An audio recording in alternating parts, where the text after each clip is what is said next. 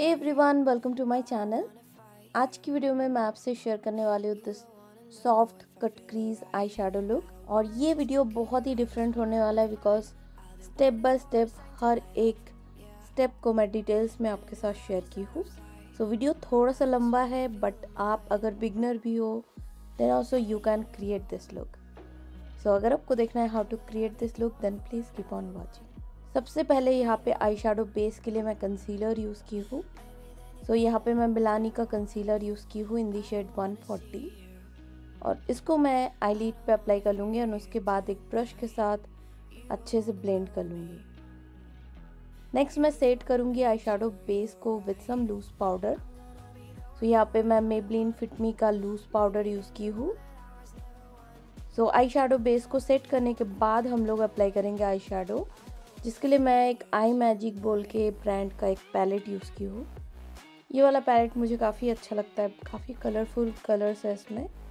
तो सबसे पहले एक kind of corally orange kind of shade को लेके मैं अप्लाई की हूँ क्रीज पे with a fluffy blending brush तो यहाँ पे थोड़ा सा मैं ब्लेंड करूँगी अच्छे से, थोड़ा टाइम दूँगी स्टेप में, ताकि अच्छा सा ट्रांजिशन क्रिएट हो।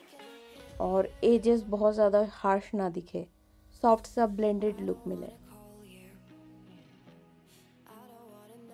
इसके बाद मैं पर्पल शेडो को एक स्मॉलर ब्लेंडिंग ब्रश में लेके आउटर व्यू पे सबसे पहले प्लेस करना स्टार्ट करूँगी और धीरे धीरे उसको क्रीज पे भी लेके जाऊँगी। जस्ट प्रीवियस शेड से थोड़ा सा नीचे। सो ये भी काइंड ऑफ़ क्रीज पे ही अप्लाई होगा but just below previous shade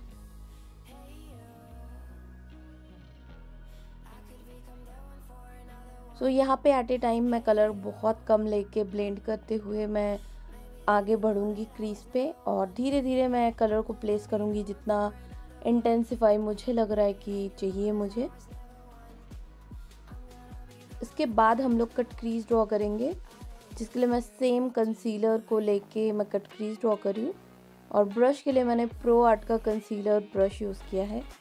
ये बहुत ही अच्छा एक यूज़फुल ब्रश है फॉर कट क्रीज ड्राइंग तो आप देख सकते हो, पहले मैं मार्किंग कर ली हूँ, कहाँ तक मुझे क्लीन करना है फ्रंट सेक्शन पे। उसके बाद मैं कंसीलर से पूरे जगह को पूरा क्लीन कर लूँगी।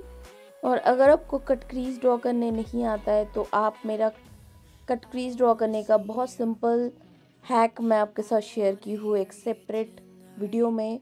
वो आप देख सकते हो, उससे बहुत अच्छा आपको हेल्प मिल जाएगा how to create cut crease so so, यहाँ पे मैं काफ़ी टाइम ली हूँ कट क्रीज ड्रॉ करने के लिए एज यू कैन सी इसके बाद वाइट शेडो को लेके मैं सेट कर लूँगी front section to centre lid तक. सो so, ये ये मैट शेडो है और एक एकदम फ्लैट स्मॉलर ब्रश के साथ मैं कलर को प्लेस कर रही हूँ यहाँ पे as you can see front section में मैं और कोई कलर नहीं प्लेस करूँगी. सो so, यहाँ पे मैं सेट कर ली हूँ पूरे कंसीलर को फ्रंट सेक्शन के.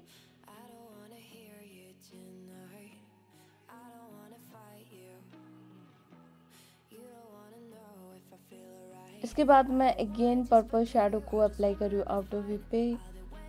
थोड़ा सा स्मूद आउट करने के लिए कंसीलर का कोई भी एज ना दिखे उस वजह से भी। सो so, यहाँ पे एकदम कम क्वांटिटी में कलर को लेके मैं आउटर व्यू से काइंड ऑफ़ सेंटर लीड तक आऊँगी।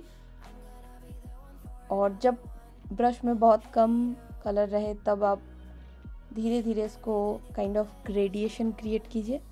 इसके बाद पीची बोल के जो शेड है kind of peachy pink kind of shade है। इसको मैं अप्लाई कर रही हूँ after purple shade up to centre lid तक। मैं एकदम फ्रंट सेक्शन तक नहीं जाऊँगी। वहाँ पे हम लोग वाइट शेडो को ही रखेंगे। मैं एक फ्लफी शेडिंग ब्रश के साथ कलर को प्लेस कर रही हूँ। और जब ब्रश में कम शेडो रहे, तब फ्रंट सेक्शन की तरफ़ आप ग्रेडिएशन क्रिएट कर सकते हो। उसके बाद अगेन मैं पर्पल शेडो को फिर से थोड़ा अप्लाई कर। रही हूँ थोड़ा वो पीची शेडो के साथ मिक्स कर लेने के लिए ताकि बीच में कोई हार्श एजेस ना दिखे।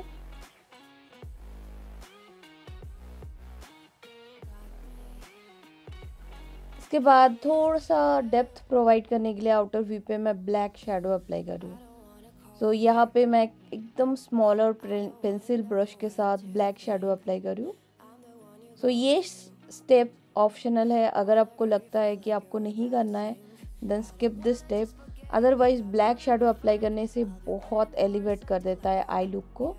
ये काइंड ऑफ़ स्मोकीनेस लाता है आउटर वी पेन ऑल्सो बहुत ब्यूटिफुली ये काइंड ऑफ़ डेप्थ प्रोवाइड करता है यू कैन से।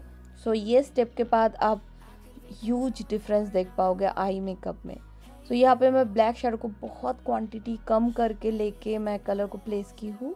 एंड उसके बाद मैं पर्पल शेडो को ब्लैक शेडो के ऊपर से प्लेस की हूँ। इससे बहुत ज़्यादा प्रोमिनेंटली ब्लैक शेडो नहीं दिखेगा। बट जो स्मोकीनेस जो आई मेकअप में मुझे डेप्थ चाहिए था, वो बहुत अच्छे से उभर के आएगा। इसके बाद मैं लाइनर ड्रॉ करी हूँ। For that I am using this liquid liner from Mamaearth so यहाँ पे एकदम थिन सा मैं आईलाइनर अप्लाई कर रही हूँ।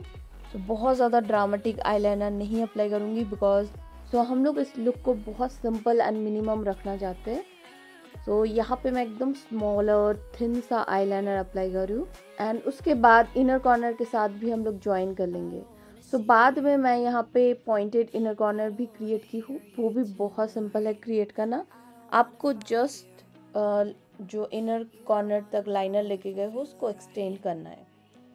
सो आई लुक को मैं सटल रखने के लिए ब्राउन काजल अप्लाई करूँ यहाँ पे लोअर लेस लाइन पे। सो so, ये बहुत ज़्यादा बोल्ड नहीं करेगा आई लुक को। एंड उसके बाद पीची बोल के जो शेड है उसको फिर से मैं लैश लाइन के क्लोज क्लोज अप्लाई करूँ। एकदम लैश लाइन के क्लोज क्लोज एंड उसके बाद पर्पल शेडो को मैं kind of outer V to centre lash line तक अप्लाई करेंगे लोअर लैशेस के। एंड ब्लैक शेडो को एकदम क्लोज क्लोज अप्लाई करूँ। जस्ट थोड़ा सा ये स्मोकीनेस लाएगा आई लुक में। अगेन पर्पल शेडो के साथ लोअर लैश लाइन को फिनिश करेंगे। इसके बाद मस्कारा के साथ लैशेस को कोट कर लूँगी काफ़ी बार। तो यहाँ पे मैं बेनिफिट का रोलर लैशेस अप्लाई की हूँ। सो ये अच्छा एक लैशेस मस्कारा है बट ये थोड़ा सा ड्राई हो चुका है मेरा वाला। So I have to purchase a new one so यहाँ अपर एंड लोअर लैशेस को काफ़ी बार कोट कर ली हूँ विद दैट मस्कारा हाइलाइटर के साथ मैं inner corner and brow bone को हाईलाइट कर लूँगी।